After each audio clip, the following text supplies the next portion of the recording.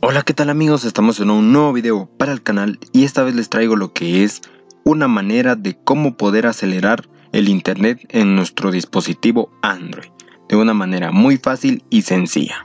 ¿En qué consiste este proceso? Vamos a realizar una serie de pasos los cuales son demasiado sencillos y entre los cuales también necesitaremos de la ayuda de una aplicación. En este caso lograremos acelerar, optimizar y sacarle el máximo provecho a nuestro internet. Para esto necesitaremos de lo siguiente. Vamos a necesitar de una aplicación la cual les estaré dejando en la descripción de este video, la vamos a descargar y la vamos a instalar. Bien, adicional a esto también les comento que más adelante les estaré compartiendo dos tips o métodos o consejos los cuales podremos complementar con esta aplicación para que nuestro internet vaya de la mejor manera. Bien, entonces una vez tengamos la aplicación la vamos a abrir. Al abrirla nos aparecerá algo como lo siguiente le vamos a dar en continuar y aquí nos van a aparecer diferentes opciones. En este caso seleccionaremos la opción de autodetectar y le damos en continuar. Aquí tenemos una pequeña interfaz. ¿Qué es lo que tenemos que hacer? Vamos a buscar la opción de optimizar aplicación personalizada y en este caso vamos a seleccionar la aplicación en la que nosotros necesitamos que el internet eh, esté al máximo. Si en caso lo que necesitamos es navegación o navegar, pues también tenemos la opción acá de optimizar el navegador. En este caso sería Chrome. Bien, supongamos que necesitamos eh, acelerar una aplicación. Vamos a seleccionar acá donde dice seleccione aplicación y nos van a aparecer nuestras aplicaciones. En este caso, vamos a seleccionar nosotros la aplicación que necesitemos acelerar. En este caso puede ser cualquier aplicación, por ejemplo Instagram. Y listo. Para optimizar esta aplicación simplemente vamos a darle en este pequeño botón verde que tenemos por acá, entre verde y celeste o azul. Le vamos a dar por acá para que entonces se abra la aplicación pero con la optimización de internet. De esta manera es como nosotros para cualquier aplicación que necesitemos usar, juegos, aplicaciones o redes sociales, simplemente la añadiremos desde acá y la abriremos desde acá para que entonces sea configurada con la optimización de internet.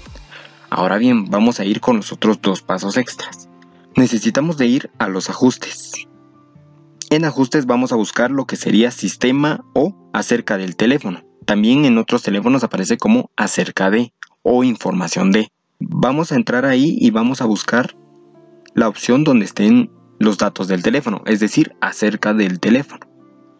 En este caso, estando acá, vamos a buscar lo que sería la opción número de compilación. Vamos a activar las opciones de desarrollador. Yo sé que muchos tal vez ya la conocen, pero por, por, los que no, pues les voy a explicar el proceso. Vamos a buscar la opción número de compilación y le vamos a dar varios toques hasta que nos aparezca que ya eres un desarrollador. En este caso a mí no me ha aparecido otra, otra frase porque ya soy desarrollador. Entonces, una vez hecho esto, vamos a regresar. Los toques que vamos a dar en esa opción pueden ser de 5 a 10. Esto no importa, podemos presionar varias veces hasta que nos aparezca la frase anterior. Entonces, volvemos a los ajustes y en este caso vamos a buscar la opción opciones de desarrollador. Si en caso no la encontráramos normalmente, vamos a buscar, vamos a utilizar el botón de búsqueda y seleccionamos desarrollador.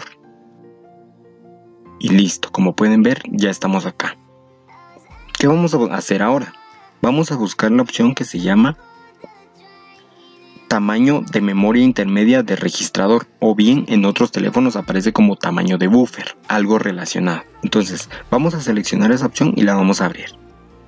En este caso nos aparecen varias opciones, vamos a seleccionar la más alta, ya que según los teléfonos puede variar, en este caso vamos a seleccionar la más alta, en mi caso sería 16 megas.